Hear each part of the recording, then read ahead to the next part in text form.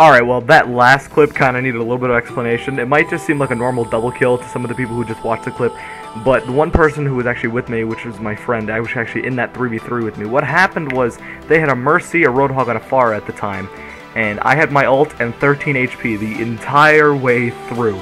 The Mercy kill actually did get cut off, but I got the Mercy kill, went in, kept hitting the Roadhog a ton. Hit, I think I hit the Pharah like once, and it was a 1v3, and got the deflect on the Pharah and beat and just won that 3v3 and it was like a clutch with Genji and I had 13 health the whole time so like you can see at the end of that clip I just like stopped moving because I dropped my headset and just left because I was so happy about hitting it. So uh, yeah let's continue right on with the Pharah clip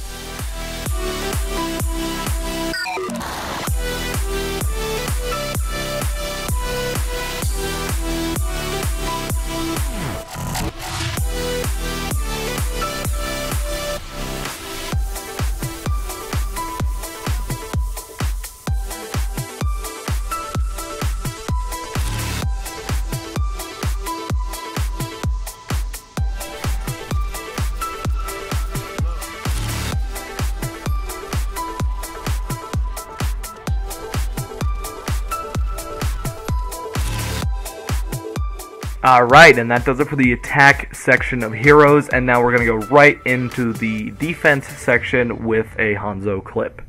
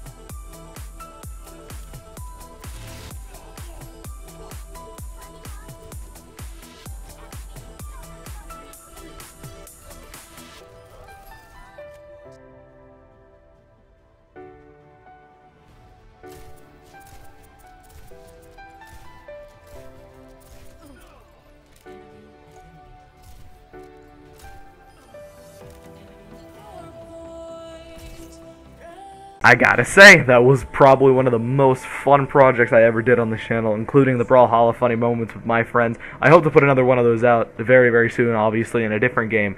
But again, it was so much fun to put this project together. I really do enjoy this game, no matter how much that Sombra play made me... Ooh, I hated... I hate Sombra. I, I can't stand it.